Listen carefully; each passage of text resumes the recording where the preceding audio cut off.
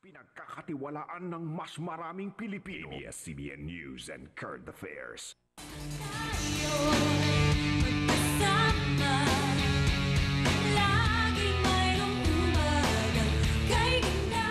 Nga ngayon ay nandito, mga kapamilya sa Barangay Kalsada sa Tipas, Tagig kung saan abay medyo binubulabog ko na ang mga kamag-anakan ni ah, Rosana o Rose Osang Fostanes at ah, kami nga ay mamaya ay magkakaraoke, magkakantahan pero speaking of Rose, abay tumanggap po siya ng parangal mula sa Embahada ng Pilipinas sa Israel. Kinilala po si Osang bilang Outstanding Filipino sa Israel kung saan siya ay nanalo nga po sa kauna-unahang season ng X Factor doon.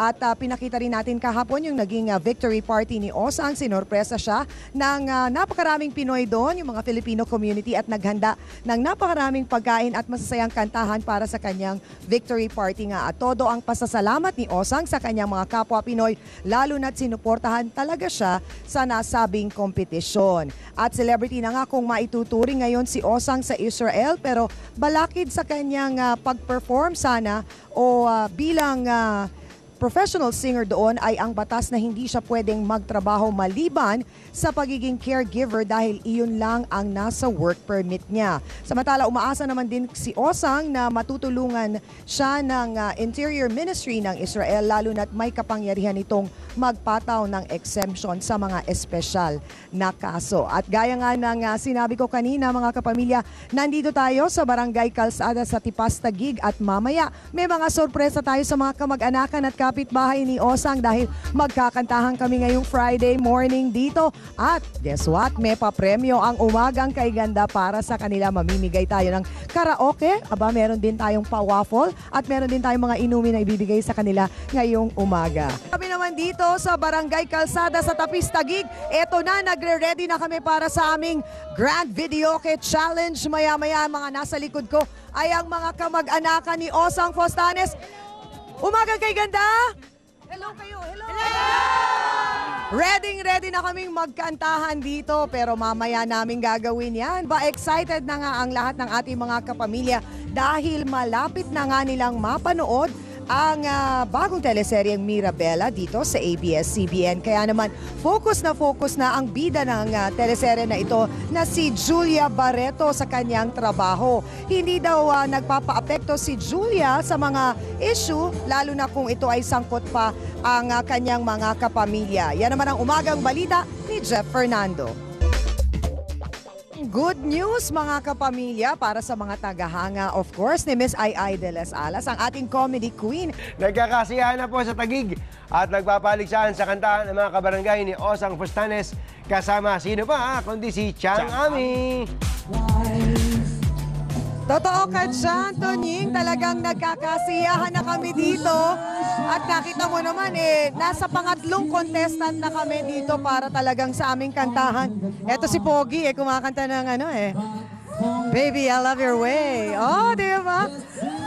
Yung mananalo, syempre, pataasan sila ng scores eh. So yung mananalo, eh tatanggap nitong uh, Rhapsody Grand Video, okay? pero yung hindi naman papalarit, aba syempre meron din tayong consolation prize. Para sa mga kapitbahay ni Osang, meron tayong drinks dyan, meron din tayong pa-pizza, at syempre, mamaya malalaman natin kung sino nga ang mananalo nitong ating grand video kay Rhapsody. So magkakantahan pa muna kami dito sa Barangay Kalsada sa Tapis ah, Tagig. At kasama ko rin ngayong umaga si Ate Gina, ang ah, kapatid ni ah, Osang. Gina, anong pakiramdam na hindi lang si Ate Osang ang sikat na sikat, kundi ang pamilya nyo? Masaya masaya po kami kasi po yung, nanalo po yung ate ko sa Israel po, yung Sa X X-Factor, Factor. oo. Opo, napakasaya po namin. Parang Oo. hindi po kami makapaniwala, na-surprise po talaga kami. Oo. So ano rin ang pakiramdam mo na mga kapitbahay, dumami ba kamag-anak nyo? Ah, marami pa rin pa naman po.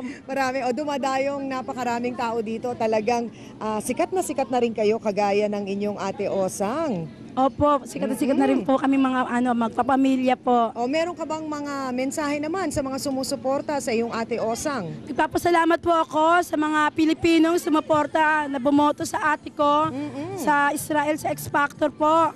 At saka nagpapasalamat din po ako sa unang hirit na nagbigay po ng oras dito po sa amin sa Barangay Kalsada. Maraming maraming salamat po sa inyo at saka po doon sa mga prizes po ninyo na Oo. grand, video okay. Maraming maraming salamat po talaga. At syempre sa umagang kay ganda. Ah, sa Umagang Kay Ganda po. Oo, Maraming yan. maraming maraming salamat maraming po. salamat Ate Gina at mamaya tuloy-tuloy pa rin ang aming kantahan dito at pamimigay ng premyo dito sa Tagig. Magsasayahan muna kami. Balik muna sa inyo dyan sa studio. Tonyong and George. Salamat, ah, Susan S. Ami. Ah, eh, alam mo naman, pwede naman mangyari yon because live. Maraming salamat mula sa Tagig. The Singing Bee!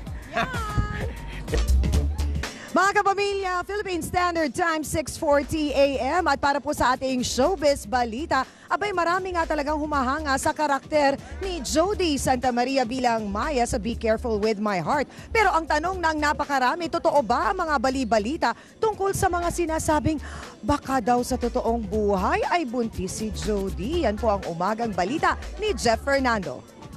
Aba, eh naman pala. Baka nalilito lang ang ating mga fans. Eh, wala naman palang katotohanan ang balitang yon. Tanging si Maya lang ang ah, nagdadalang tao. So yan ang abangan natin. Kaya tutok palagi sa Be Careful With My Heart. At maya-mayang konti mga kapamilya, abay balita ko may lulutuing masarap ba si Tita Winnie dyan sa Batangas habang kami naman dito sa Tagig ay nagkakantahan. Ano ba yung napakasarap na yan? Ah, isda, ginataang tulingan. Oh wow, masarap yan. At alam ko eh parang pamamaraan o sikreto ang tamang pagluto niyan. Yan ang alamin natin mamaya mga kapamilya, kaya tutukan at abangan. Sabantala kami dito sa Tagig, aba, tuloy-tuloy lang ang aming kantahan na singing bee ang dating. O, di ba? Bukas yan, mga kapamilya. Kaya abangan ninyo. O, yung mga taga-tagig, kaway-kaway. O, Enjoy lang kami dito at malalaman namin mamaya kung sino ang mananalo ng ah, napakagandang grand video kay Rhapsody na yan.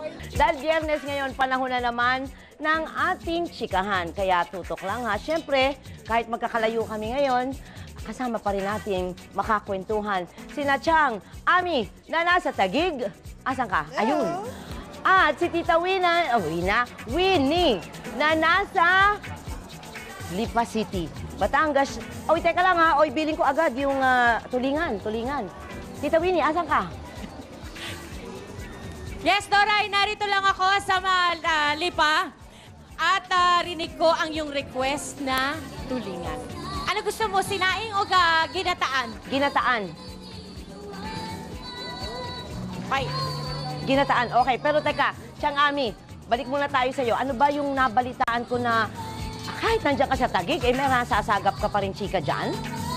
Nako, eh, may, kahit kami nagkakantahan dito, tinan mo tong batang to, napakagaling kumanta, oh. Ayun. Tinan mo, papunta na kami sa finals, eh.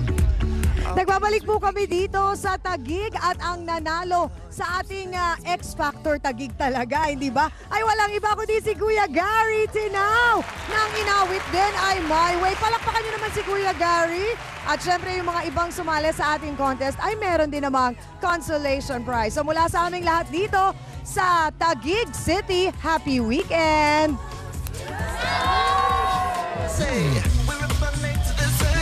Balik Thank you, uh, Tita Ann. Maraming salamat, Kamilya, sa pagsama niyo sa amin ngayong Friday morning.